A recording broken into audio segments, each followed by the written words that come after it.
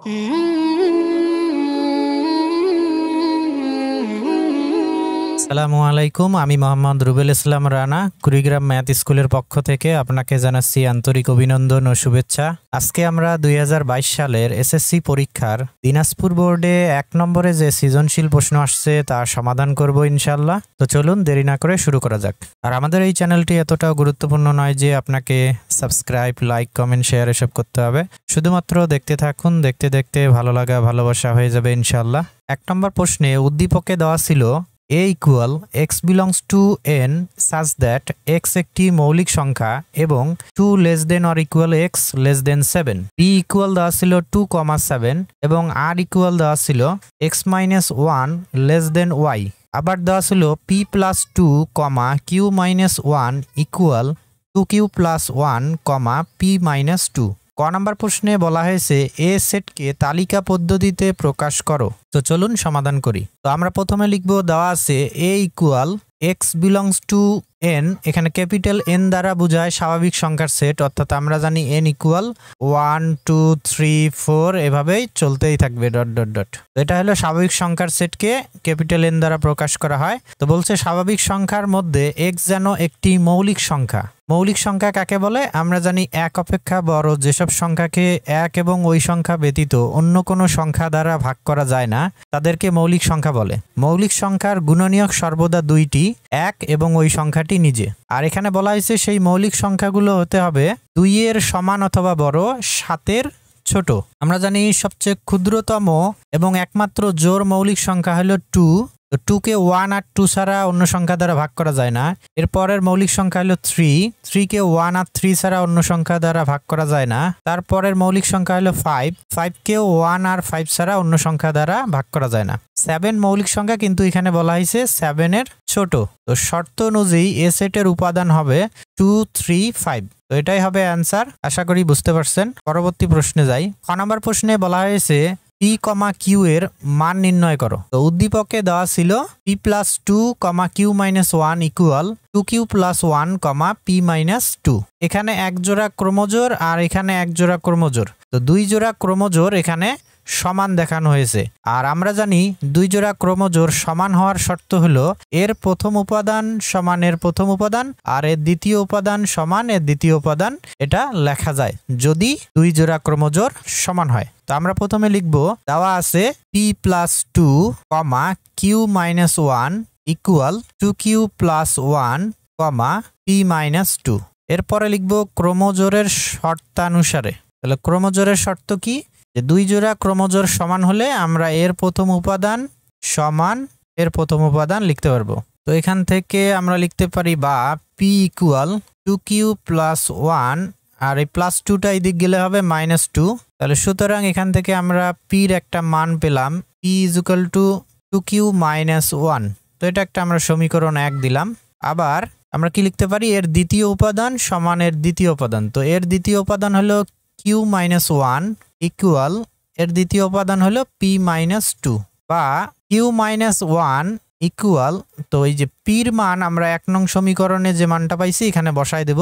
পির পরিবর্তে আমরা লিখতে পারি টু কিউ মাইনাস ওয়ান এরপরে মাইনাস টু তো এখানে সাইড নোট আমরা লিখতে পারি এক নং হতে। বা, তো এখানে কিউ আর এই প্লাস টু কিউ এইদিকে আসলে হবে মাইনাস টু কিউ এখানে মাইনাস ওয়ান আর মাইনাস টু হলো মাইনাস থ্রি এদিকের মাইনাস ওয়ান ওই দিক গেলে হবে প্লাস ওয়ান বা কিউ থেকে টু কিউ বাদ দিলে এখানে পাবো মাইনাস কিউ আর মাইনাস থ্রি থেকে প্লাস ওয়ান বাদ দিলে পাবো মাইনাস টু তো উভয় পক্ষকে মাইনাস ওয়ান দ্বারা গুণ করলে আমরা পাবো কিউ ইকুয়াল টু তো কিউ এর মান আমরা পেয়ে গেলাম। এবার এই কিউ এর মান যদি আমরা এক নঙে বসায় দেই, তাহলে পির মান পেয়ে যাব। তাহলে আমরা লিখব কিউ এর মান এক নঙে বসাই। P equal two into Q এর মান হলো টু মাইনাস ওয়ান ইকুয়াল, তাহলে টু আর টু গুণ করলে ফোর ফোর থেকে ওয়ান মাইনাস করলে আমরা পাবো থ্রি। তাহলে সুতরাং পি কমা কিউ ইকুয়াল পির মান থ্রি কমা কিউ এর মান হলো টু। তো এটাই হবে অ্যান্সার, আশা করি বুঝতে পারছেন। পরবর্তী প্রশ্নে যাই। গ নম্বর প্রশ্নে বলা হয়েছে, এ কমা বি এর উপাদানগুলোর জন্য সংশ্লিষ্ট আর অন্যয়টি নির্ণয় করো। এখানে আমাদের উদ্দীপককে দেওয়া ছিল R equal X minus one less than Y আর যেহেতু এখানে বলা হয়েছে এ কমা বি এর উপাদানগুলোর জন্য, তো আমরা প্রথমে লিখব ক হতে পাই এ ইজুকাল টু এর মান আমরা পাইছি two comma three comma five এবং বি ইকুয়াল দেওয়া আছে টু কমা সেভেন তাহলে আমরা লিখতে পারি প্রশ্নানুসারে অন্যয় আর ইকুয়াল অন্যয় মানে সম্পর্ক বা রিলেশন এই জন্য ক্যাপিটাল আর দ্বারা প্রকাশ করা হয় অন্যয়কে তো আর ইকুয়াল আমরা লিখব X comma Y such that X belongs to এখানে প্রথম সেটটা হলো এ তাহলে X belongs to A comma Y belongs to B এরপরে আমরা লিখব এবং এবং দিয়ে এখানে যে শর্তটা দেওয়া ছিল সেটা লিখব X minus one less than Y তো শর্ত অনুসারে এটা হলো আমাদের অন্যয় আর তো যদিও এখানে প্রশ্নে ক্লিয়ার বলা ছিল না যে এক্স বিলংস টু এ হবে নাকি এক্স বিলংস টু বি হবে। তো আমরা এখানে এ কমা বি এই ক্রমানুসারে আমরা এটা ধরে নিলাম যে এক্স বিলংস টু এ আর ওয়াই বিলংস টু বি তো এখানে শর্ত দেওয়া আছে X minus one less than Y যদি লেস দেন গ্রেটার দেন এরকম চিহ্ন দিয়ে থাকে, তো সেক্ষেত্রে আমাদের তখন ওই সেট দুইটার কার্তেশীয় গুণজ বা ক্রস করতে হয়। আর যদি এখানে ইকুয়াল দিয়ে থাকে, তাহলে তখন আমাদের সারণী বা ছক করে এক্সের মান বসিয়ে ওয়াই এর মান বের করতে হয়। তো আমরা এখানে কার্তেশীয় গুণজ বা ক্রস করব এই সেট দুইটার। তাহলে A cross B equal A সেটের উপাদান হলো two three five cross B সেটের উপাদান টু কমা সেভেন তো ক্রস করার নিয়ম কি? প্রথমে সেকেন্ড ব্র্যাকেট আর ভিতরে ফার্স্ট ব্র্যাকেটে আমাদের ক্রমজোর আকারে অর্থাৎ জোড়ায় জোড়ায় লিখতে হবে টুর সাথে আমাদের এর প্রত্যেকটা উপাদান একবার করে নিতে হবে। তাহলে আমরা লিখব টু কমা টু, এটা একটা ক্রমজোর। আবার টু কমা সেভেন, টু দিয়ে শেষ হলে এরপরে থ্রি দিয়ে নিব। তারপরে লিখব আমরা three comma two, three comma seven, থ্রির পরে আমরা লিখব ফাইভ দিয়ে। তাহলে five comma two, five comma seven. তো লেখা শেষ হলে আমরা সেকেন্ড ব্র্যাকেট ক্লোজ করব। এখন আমরা দেখব যে শর্ত অনুসারে এখানে আর এর উপাদান কোনটা কোনটা হবে? এখানে শর্ত দেওয়া ছিল যে এক্স থেকে ওয়ান মাইনাস করলে ওয়াই বড় হবে, অর্থাৎ দ্বিতীয়টা বড় হবে। এখানে প্রথমটা করি হলো এক্স আর দ্বিতীয়টা হলো ওয়াই কারণ আমরা এখানে লিখছিলাম যে ক্রমজোরগুলো কি আকারে থাকবে? এক্স কমা ওয়াই আকারে। তো আমরা দেখব কোন কোন উপাদানের ক্ষেত্রে প্রথমটা থেকে ওয়ান মাইনাস করলে দ্বিতীয়টা, অর্থাৎ ওয়াই, বড় হয়। তো এখান থেকে যদি আমরা ওয়ান মাইনাস করি, তাহলে এখানে হয় ওয়ান আর পরে থাকে টু। তাহলে প্রথম যে উপাদান এটা এটা শর্ত মানতেছে, তাহলে টু কমা টু একটা উপাদান পেয়ে গেলাম।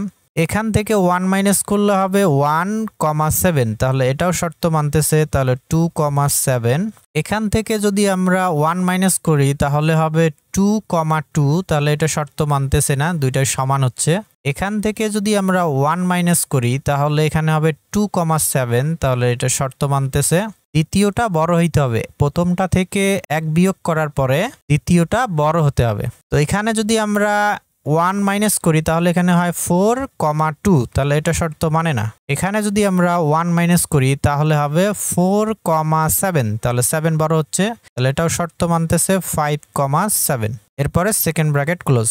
তো শর্ত অনুসারে এটাই হবে আর অন্যয় আর যদি আমরা এই অঙ্কটার ক্ষেত্রে এখানে এক্স বিলংস টু বি কল্পনা করি আর ওয়াই বিলংস টু এ কল্পনা করি, তাহলে সেক্ষেত্রে আমাদের উত্তরটা চেঞ্জ হবে। এই প্রশ্নটা যেহেতু বলা ছিল না ক্লিয়ার একটু অসঙ্গতিপূর্ণ, তো আমরা এখানে এক্স বিলংস টু এ এবং ওয়াই বিলংস টু বি কল্পনা করে সমাধান করলাম। আশা করি সবাই বুঝতে পারছেন। আজকের ভিডিও এই পর্যন্ত, দেখা হবে অন্য কোনো ভিডিওতে ইনশাল্লাহ আল্লাহ হাফিজ।